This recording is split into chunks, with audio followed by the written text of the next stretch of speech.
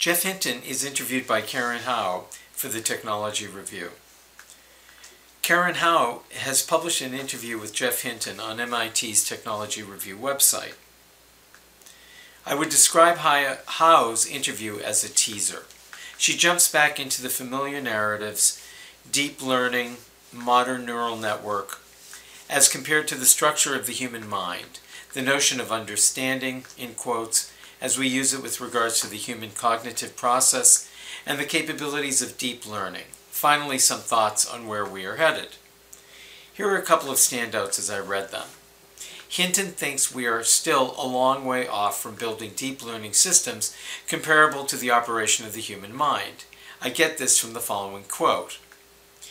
But we also need a massive increase in scale. The human brain has about 100 trillion parameters or synapses, what we now call a really big model, like GPT-3, has 175 billion.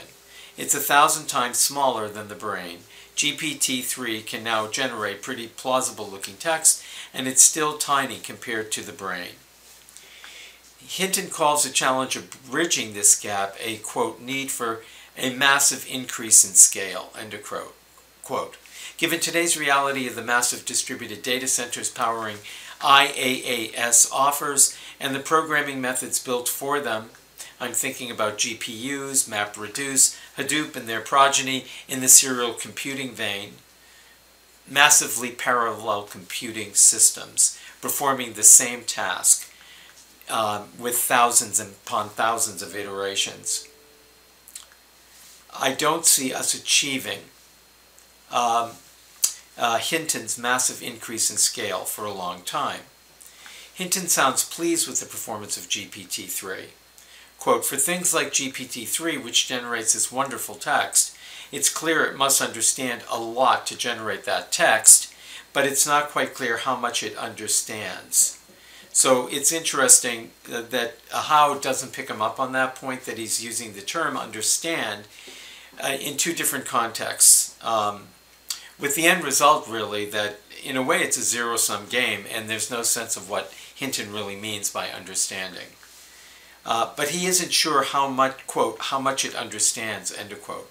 Hinton sounds kind, kind of, Hinton sounds um, kind of compared to what looks like a conclusion across at least the academic community, GPT-3 remains prone to the same malicious manipulation as its pred uh, predecessors.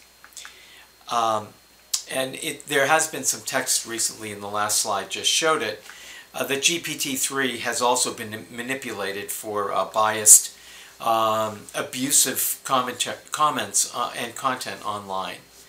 Safe to say what Hinton finds, quote, wonderful, end quote, the rest of us discerning people may very well find repulsive or even worse. Therefore, it's likely Hinton is understating what amounts to the same stubborn lack of understanding on the part of today's deep learning software characteristic of its predecessors and other approaches to quote, AI, end quote. It's important to state here, computers have no sense whatsoever um, uh, from the um, from um, my experience and what I've read of understanding in the human form whatsoever. And, and um, projects to make computers uh, capable of human level understanding seem to be futile. This has been going on not just for the last two to three to five years, it's actually been going on since the birth of neural networks uh, back in the early 80s. So we've been at this thing now for going on to, um, to 20 years without a breakthrough. And it's highly unlikely that there will be a breakthrough in, uh, based upon current approaches. Hinton turns a spotlight onto the work of Ashish Vaswani and colleagues. He clearly thinks Vaswani has pushed the ball forward for deep learning and specifically as it is applied to the burning need to automate human communication via languages, NLP, NLU, IVR, etc. And here's the quote, for example, in 2017, Ashish Vaswani et al. introduced transformers, which derive really good vectors representing word meanings It was a conceptual breakthrough. It, it's now used in almost all the very best natural language processing. We're going to need a bunch more breakthroughs like that. End of quote. In the abstract to his 2017 paper, quote, Attention is all you need, end quote, Ashish Vaswani and his team present their breakthrough using the notion of, quote, self-attention, end quote, to substantially streamline the operation of automation solutions like those built for human communication by languages uh, by getting rid of, quote, recurrent or convolutional neural networks altogether, end quote. The title of Vaswani's paper looks to me like a play on the title of a Beatles song, quote, love is all you need, end of quote. A fitting choice given the combination of big benefits, including much faster processing speed and lower demand on hardware GPUs. Vaswani's, Vaswani's transformer promises to deliver. But, quote, understanding, end of quote, is not one of these benefits. Unfortunately, Hao did not ask Hinton what he thinks of the work of Ilia Sucholutsky. Hao wrote historian Sucholutsky in his work to lower his work to uh, lower the data appetite of deep learning programmers programs earlier this year. My name is Ira Michael Blonder. I'm the CEO and founder of IMB Enterprises Inc.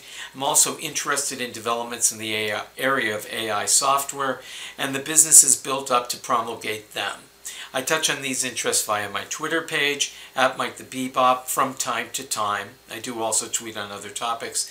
If you have a topic of interest, I'm always happy to speak over a short free telephone call, so please don't hesitate to ring me up at 631-673-2929. Please also visit uh, my uh, our company's uh, webpage, https www.imbeenterprises.com.